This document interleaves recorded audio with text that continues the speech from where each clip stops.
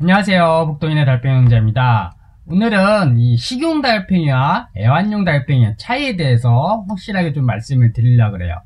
식용과 애완용의 차이가 뭔가 하는데 결론부터 말씀드리면 모두 어, 같은 식용으로 사용이 가능한 우리가 아카티나 퓨리카라는 아프리카종 원산지 달팽이 한 종이에요. 그래서 어, 키우는 목적에 따라서 사실은 좀 다를 뿐이에요.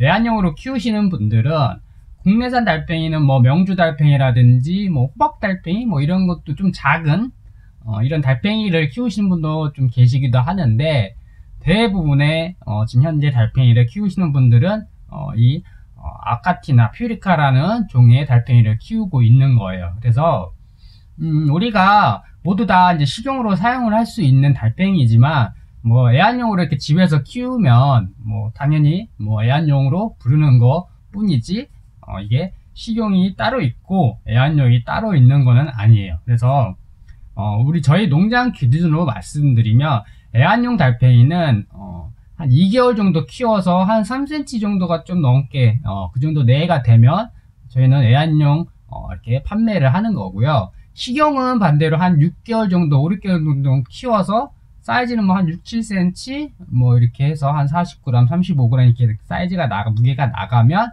식용으로 판매를 하는 것 뿐이에요. 그래서 식용은 뭐 주로 우리가 뭐 이렇게 요리에도 쓰이고 뭐 건강원 뭐 약 같은 거에도 쓰이기도 하고 건강식으로도 이렇게 사용을 하는 거고 애완용은 말 그대로 집에서 이렇게 음, 키우면서 관찰을 하는 거죠.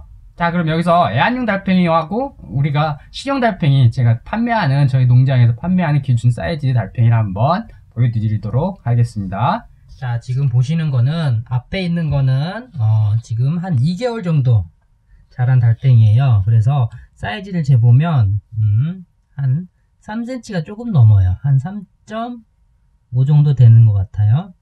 어, 그래서 한 2개월 정도 크면은 저희는 이 정도 사이즈로 키워서 애완용으로 판매를 하는 거고요. 그 다음에 식용 같은 경우는 음, 사이즈 한번 재볼까요?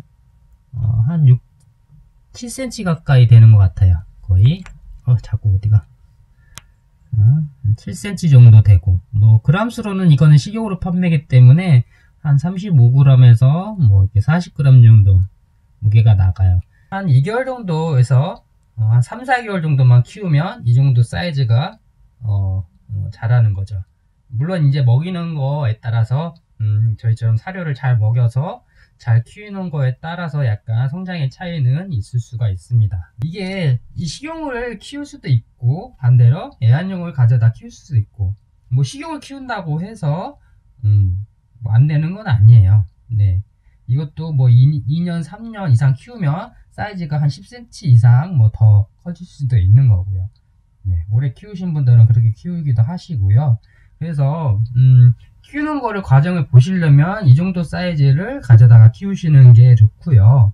뭐 바로 뭐 이게 어, 큰 거를 가져다 키우고 싶으신 분들은 어, 이렇게 좀 큰 사이즈를 가져다가 어, 키우기도 하시는 거세요.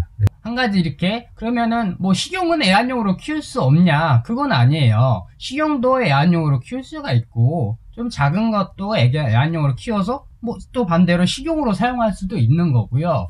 그런데 이제 대부분은 다 집에서 애완용으로 키우시면 사실은 이게 먹이도 주고 돌보면 사실은 식용으로 사용을 하시기는 어렵죠. 그래서 뭐 애완용으로 키운 걸 잡아먹어라 이런 얘기는 아니에요. 당연히 애완용으로 키우신 분들은 애완용으로 이쁘게 키우시면 되는 거고 그 다음에 그냥 식용 목적으로만 키우시는 분들은 또 식용으로 뭐 약용 용도로 키우는 거니까 음, 간혹 뭐 애완용으로 키우시는 분들은 어 뭐 저거를 어떻게 잡아먹냐 뭐 이렇게 하실 필요도 없는 거고 반대로 뭐 또 식용으로 하시는 분들이나 뭐 약용으로 사용하신 분들은 저걸 뭘 키우냐 뭐 이렇게 하실 필요도 없는 거예요. 그거는 다 본인의 목적에 맞게 키우는 거기 때문에 어, 사용하는 용도에 따라서 예, 애완용 달팽이가 될 수도 있고 식용 달팽이가 될 수도 있는데 결론적으로는 기본으로 식용을 목적으로 양식을 하고 있는 달팽이다 라는 걸 확실하게 알아두시면 되겠습니다